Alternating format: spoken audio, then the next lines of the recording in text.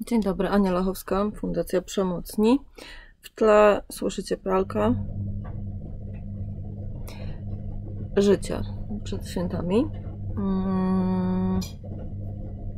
No, odpowiadam też na szybko w sumie. Na pytanie niezwiązane ze świętami, co prawda, tylko z taką sytuacją. Yy pojawia się, nie wiem jak, nie wiem, nie wiem jak to jest w drugą stronę, w sensie w odwrotnej konfiguracji płci.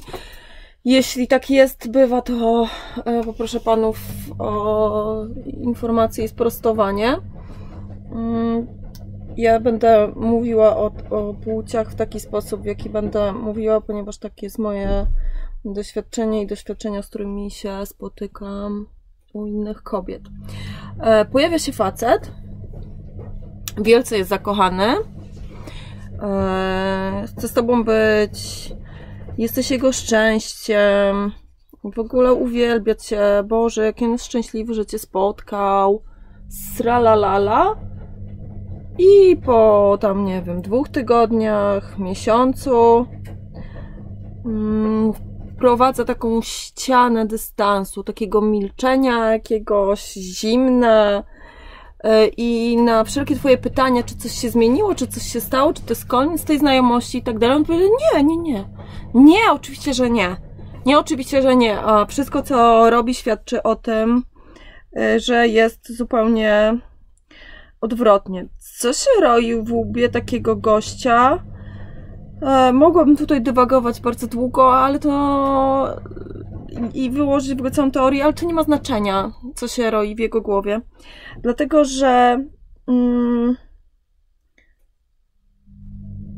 nie ma co się wciąż skupiać na innych ludziach mm, w sprawach, które są twoje. Skup się na sobie. Więc e, co warto zrobić w takiej sytuacji? W sobie warto przyjąć e, za odpowiedź fakty, Czyli to, że macie w dupie oraz to, że on mówił, że cię kocha, czy że mu na nim zależy, czy że jest tobą szczęśliwy, czy coś. Mówił. Jak to jaśniej powiedzieć? Faktem jest, że on coś powiedział a nie to, że on coś powiedział, oznacza, że jest faktem. To jest najważniejsza różnica na świecie. Powiedzieć można wszystko. W wielu ustach słowa nic nie znaczą, lub znaczą rzeczy zupełnie przeciwne niż, mm, niż sama treść by głosiła.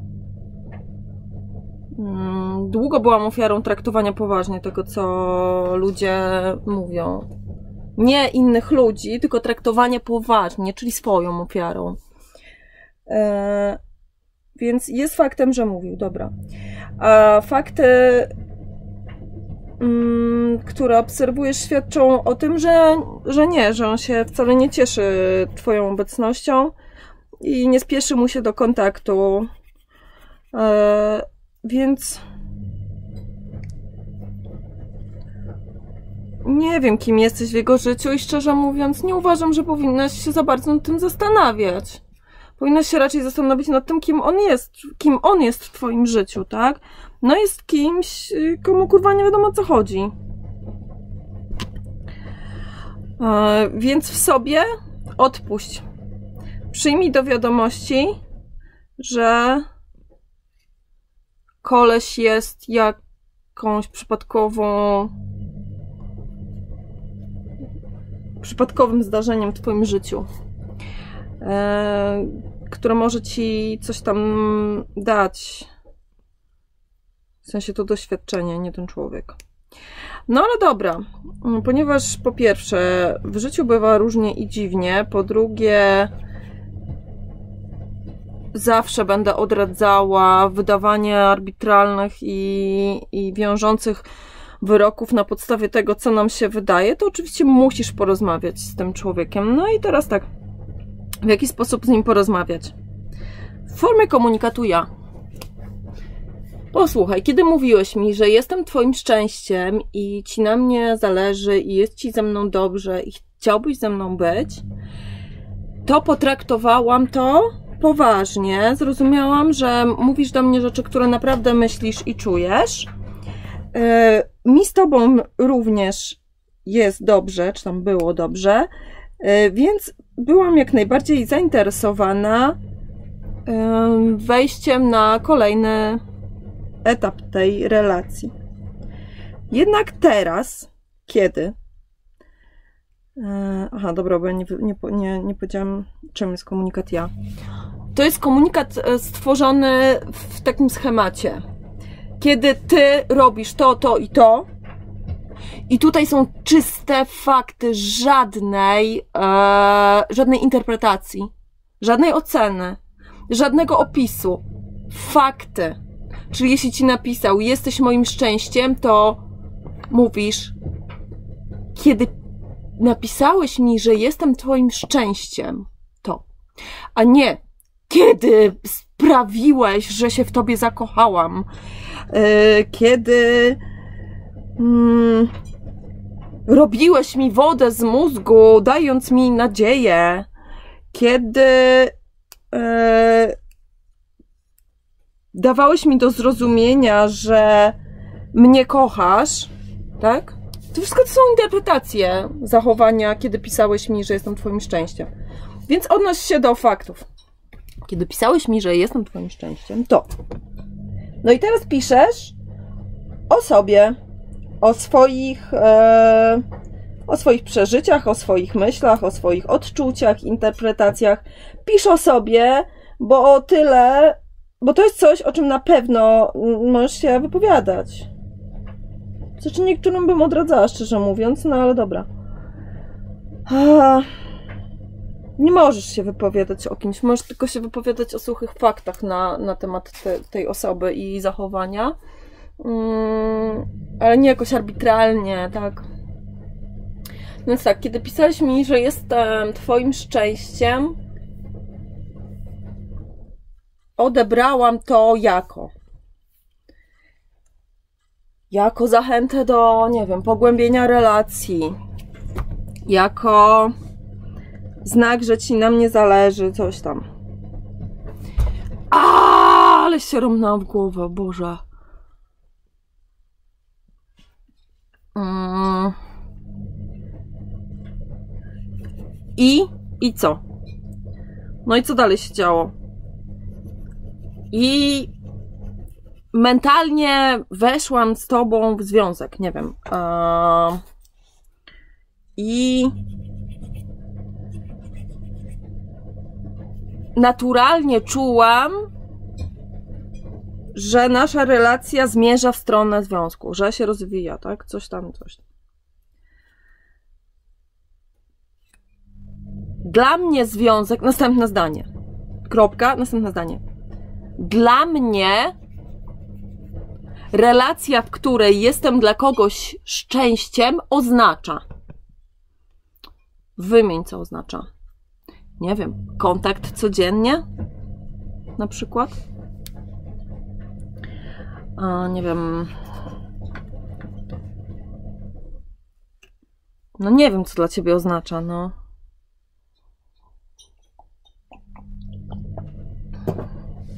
Dla mnie oznacza kontakt. Dla mnie. Oznacza kontakt codzienny. Chociażby na dzień dobry i na do widzenia. Wcale nie musi być długi. To może być. To może być dzień dobry i do widzenia, jeśli oboje jesteśmy bardzo zajęci. Nie mieszkamy razem. A... No. Ale taka tak, taki jakiś wyraz bliskości. Że w przerwie, pijąc kawę, chcę ci powiedzieć, że jestem. No, na przykład, nie? Kiedyś miałam tam inne wyobrażenia, a teraz to mam takie. No i teraz e, ty sobie wstaw to, co ty uważasz i to, co ty czujesz, tak? Dlatego, że no, na przykład dla mnie kiedyś było nie do wyobrażenia, że w ogóle ja i mój facet jesteśmy tak zajęci swoimi oddzielnymi życiami, że mm, możemy tylko powiedzieć sobie rano, wieczorem: Jestem, kocham.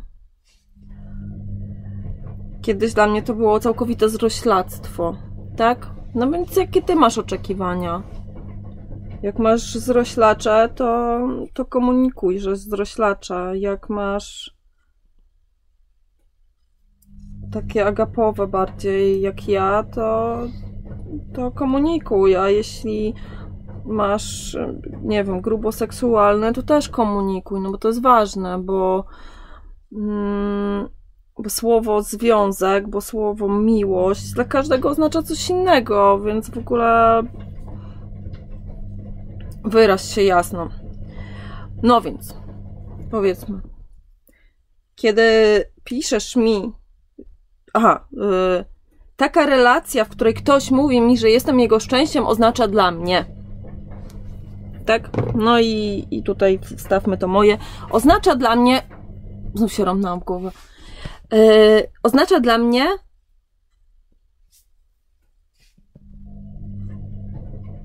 choćby minimalny, ciepły kontakt codziennie. Choćby SMS-em.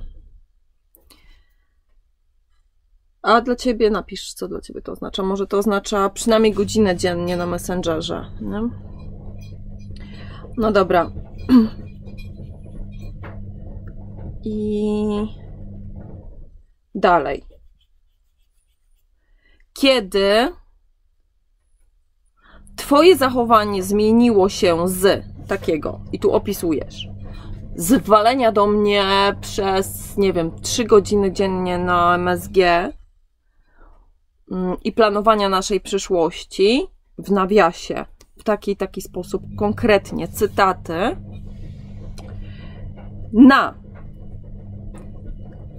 nieodzywanie się do mnie na przykład na Messengerze wcale i tylko odpowiadanie na moje próby nawiązania kontaktu, czy też nawiązywanie kontaktu raz w tygodniu, czy no nie wiem na co tam się zmieniło, w każdym razie się zmieniło, to moja, moje odczucia, moja interpretacja są takie.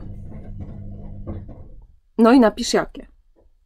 Czyli, że na przykład kontakt ze mną jednak nie sprawia ci przyjemności, kontakt y, ze mną nie jest dla ciebie jednak interesujący.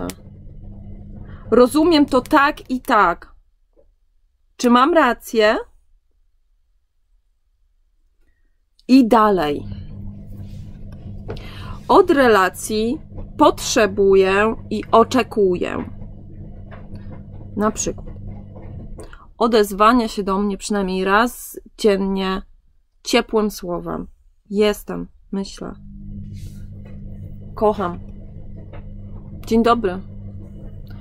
Lub dobranoc. Tak. Mm, a dla ciebie to co to oznacza? Napisz, co to dla ciebie oznacza. Mm.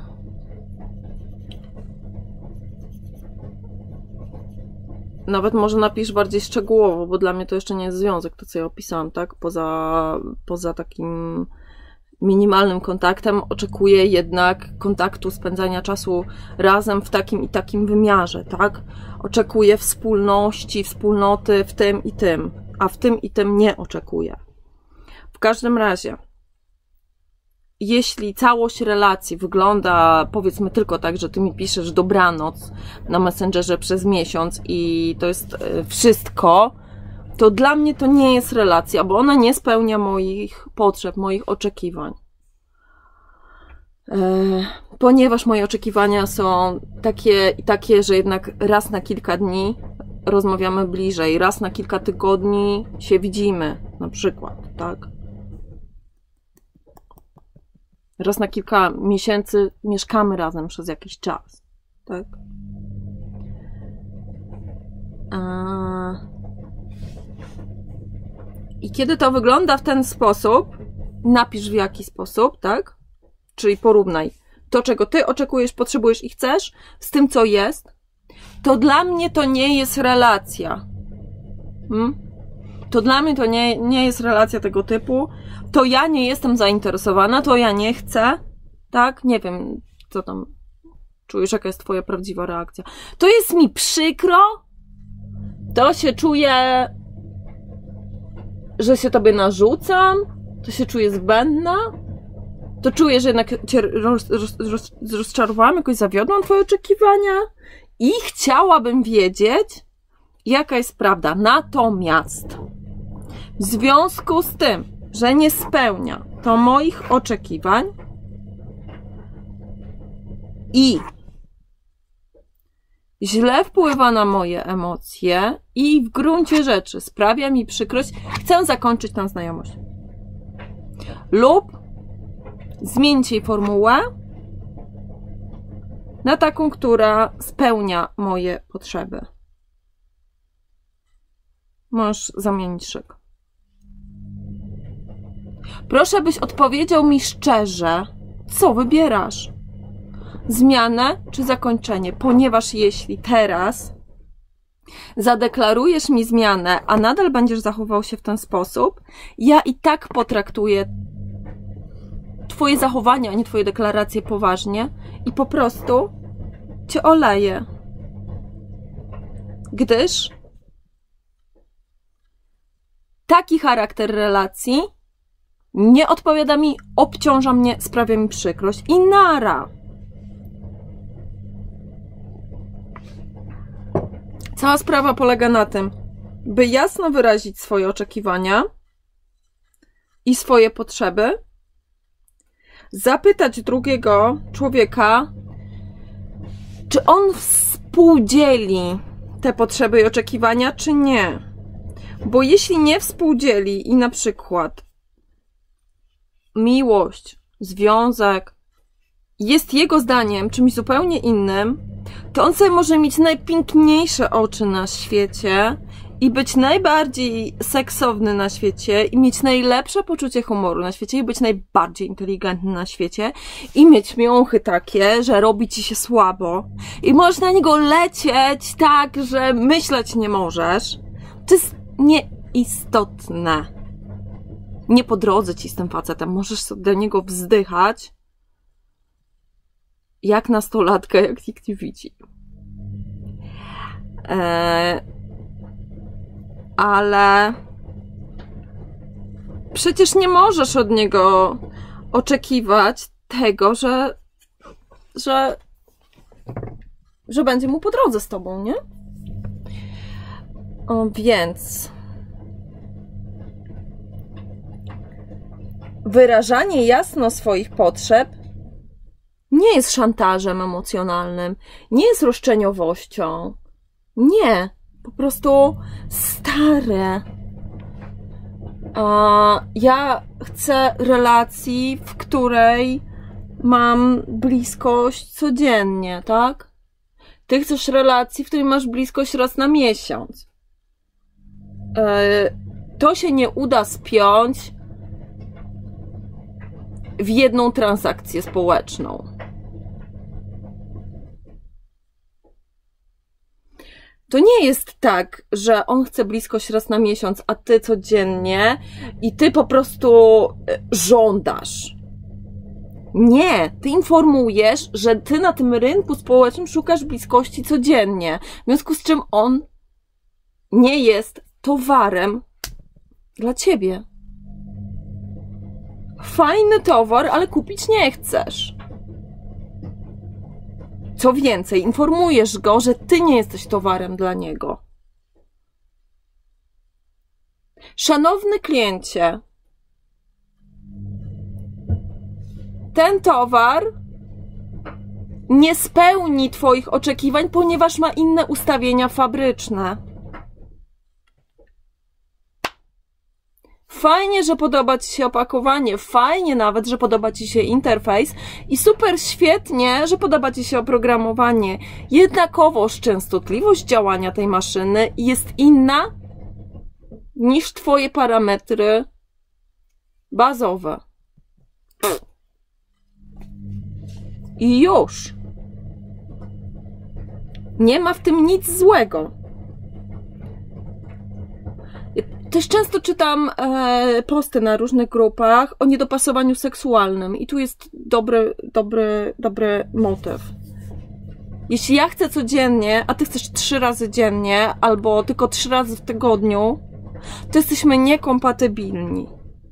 Więc albo ustalamy, czy da się uwspólnić to, albo się rozchodzimy, bo życie jest jedno. I nie ma co oszukiwać samego siebie, że coś, co nie spełnia moich potrzeb, te potrzeby spełnia. W związku z czym jesteś największym ciachem, które w życiu spotkałam, ale twoje libido nijak się ma do mojego. Męczy mnie to. Jak cię nie męczy, to okej, okay, no to znaczy, że wtedy jest dopasowane. A jak cię męczy, naprawdę lepiej być samemu niż męczącej relacji. Naprawdę lepiej być samemu niż zastanawiać się, czy to jest przyjaźń, czy to jest kochanie. Lepiej być samemu niż łudzić się, że temu człowiekowi na tobie zależy. Bo to strasznie obciąża, strasznie rani, strasznie boli. Prawda nas wyzwoli, zawsze prawda nas wyzwoli, choćby była najokropniejsza. E, zauważyłam u siebie to już bardzo dawno i też u wielu osób, nawet osób z psychozami psychozie. W momencie, w którym dochodzą do prawdy, dochodzimy do prawdy, czujemy spokój. Możemy sobie wymyślić odpowiedzi i rozwiązań i wyjaśnień 100 milionów na jakiś tam problem, który mamy. I cały czas będziemy odczuwali wewnętrzne napięcie, dyskomfort, jakiś smutek, jakąś niepewność jeśli one będą nieprawdziwe. Choć mogą być logicznie doskonałe. Ale w momencie, w którym dochodzimy do prawdy, nawet takiej prawdy jak to, że ktoś nas nie kocha, albo my nie kochamy jego, czyli do prawdy jakiejś smutnej, no, bolesnej, rozczarowującej, szokującej, nie wiem, to czujemy spokój, kiedy to jest prawda. To jest papierek lakmusowy, najlepszy na świecie, najdoskonalszy. Prawda daje spokój. I bywa, że jest to spokój, jaki czujesz nad zwłokami kogoś bliskiego. No, jest to spokój z najbardziej makabrycznego gatunku. Nikomu nie polecam. Zimny, martwy spokój. Spokój pustki i mroku. Spokój, w którym nie da się już nic zrobić. Ale spokój. I w swoich rozmowach z kimś, komu nie wiadomo o co chodzi, dąż do tego, by poczuć spokój. Po prostu. Dziękuję.